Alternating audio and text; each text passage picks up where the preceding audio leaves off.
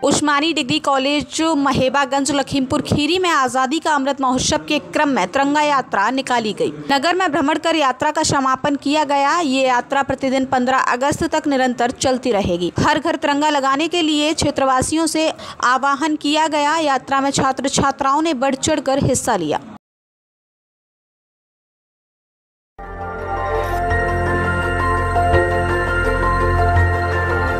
देखते रहिए डीवी भारती समाचार नज़र हर खबर पर।